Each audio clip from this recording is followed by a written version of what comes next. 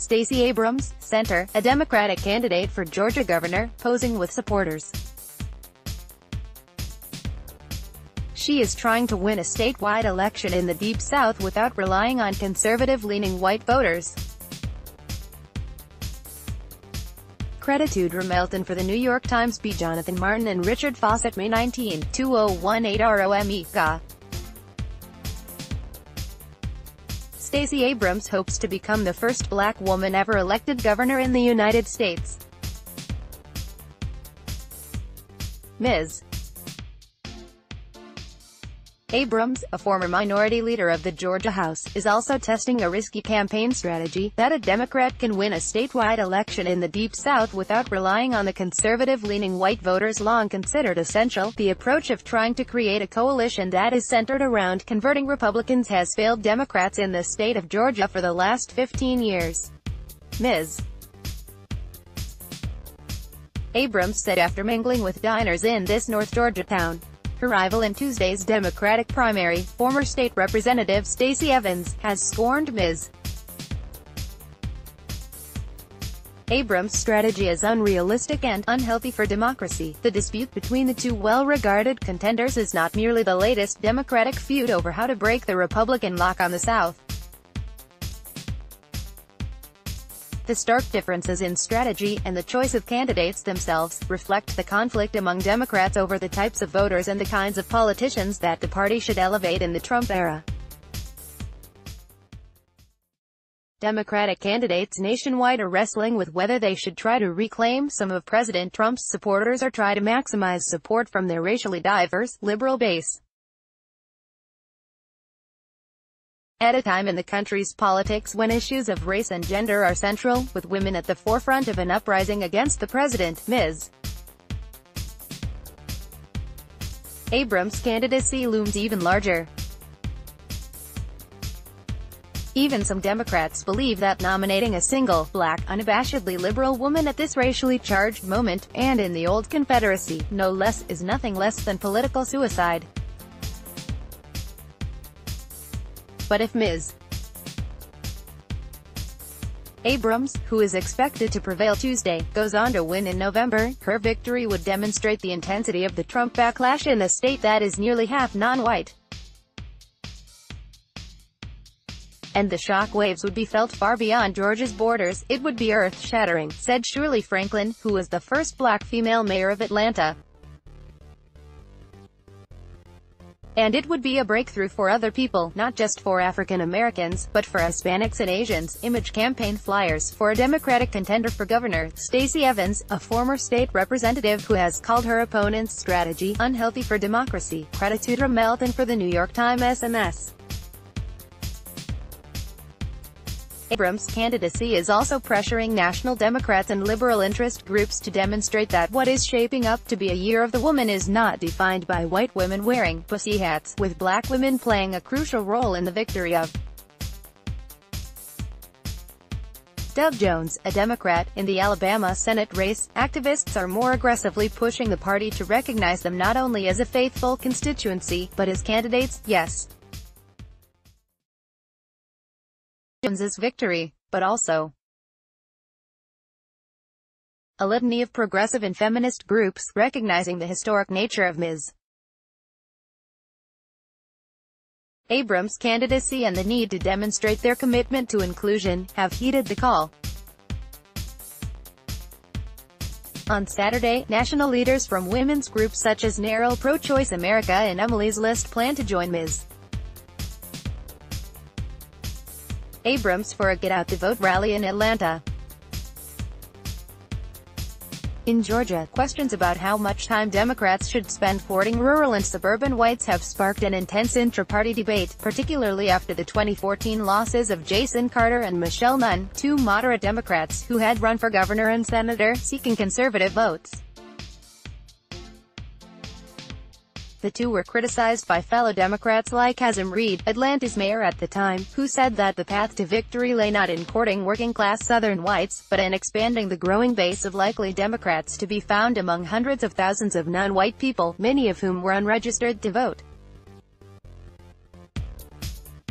Ms.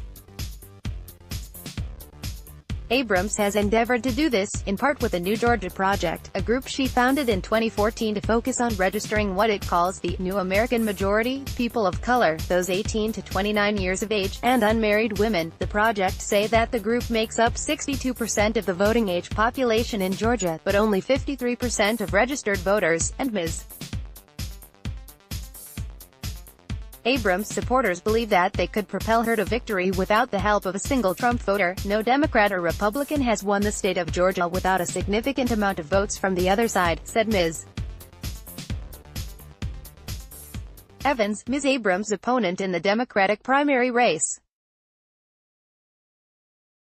Credit Creditude Ramelton for the New York Times but such voters are precisely those who are the least likely to turn out in a midterm election. And declining to look for votes among white swing voters is folly, said Ms. Evans, who grew up in the small, majority-white, North Georgia city of Ringgold. The truth is, in no Democrat or Republican has won the state of Georgia without a significant amount of votes from the other side. Ms.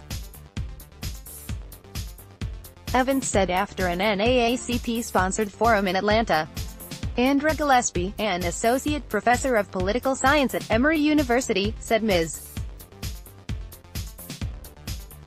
Abrams' strategy could be considered a moral victory if she made it to the November election and matched or surpassed the votes Mr. Nunn and Mr. Carter posted, even if she lost, it should silence risk-averse Democrats, who fear that putting candidates of color on the ballot actually ends up costing them votes in the long run. Dr. Gillespie said. And it may point to a way forward for Democrats, she said, since non-white residents are the growth market for Democratic votes, given the state's long-term demographic shifts. Ms. Abrams, though, was emphatic that she means to notch more than a symbolic victory. I do not run for office as some sort of quixotic endeavor, she said. Let Democrats like Ms. Abrams face a kind of double hurdle running statewide, that of perception and that of reality.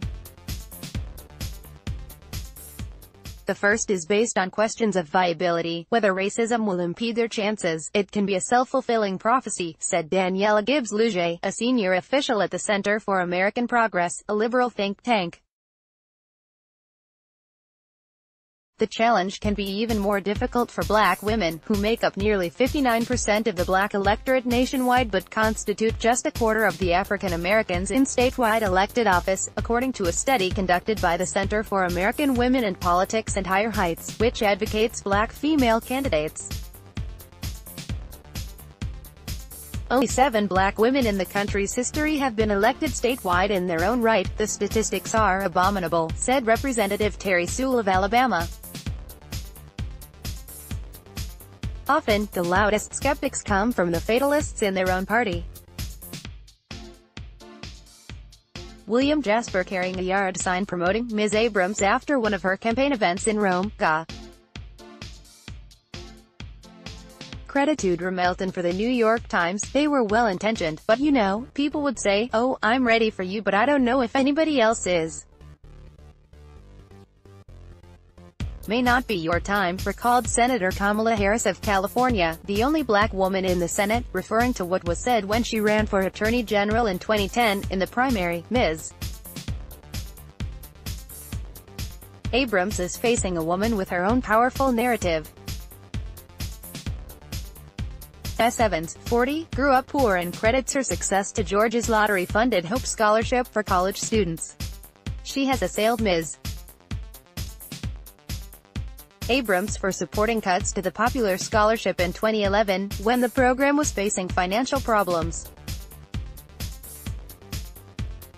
Ms. Abrams, 44, could be vulnerable to other lines of attack in a general election. She lent her campaign $50,000 even while she owed $50,000 in back taxes, and she has called for the removal of the Confederate carvings on the side of Atlanta's Stone Mountain. And even as Atlanta booms, luring African Americans to a capital of black America and immigrants from abroad, Georgia remains a conservative-leaning state where liberal candidates have struggled in recent years to win statewide office. In Ms. Abrams' favor, though, is the fury toward Mr. Trump, particularly from women and minorities, and ambivalence about him from some wealthy suburbanites. And Republicans are being tugged to the right as much as Democrats are drifting to the left. Lieutenant Governor Casey Cagle, a Republican, is the frontrunner for the governor's nomination, but his challengers are displaying what the GOP's Trump-era base demands. A candidate named Michael Williams has been riding around in what he calls a deportation bus that he has promised to fill with murderers, rapists, kidnappers, and send back to Mexico. Ads for another candidate, Secretary of State Brian Kemp, have him making a similar vow, though with his own pickup truck. The ads also feature him on a porch jokingly pointing a double-barreled shotgun at one of his daughter's suitors. If Republicans cannot pivot toward the political center, they may offer Democrats an opening to win the governorship for the first time in two decades. And should Ms. Abrams win Tuesday, her prospects may then depend on the sort of pride expressed by Rosemary Ringer, an official in Rome who, outside a restaurant, enveloped the candidate in a hug and assurances of victory. Ms. Ringer then told a reporter that Ms. Abrams' candidacy would deal a blow to lingering stereotypes about the inferiority of African American women. It dispels that myth, she said of a candidate who has a law degree from Yale. That's what it says about the South. And we'd dispel that myth with names like Keisha, Aisha and Stacey.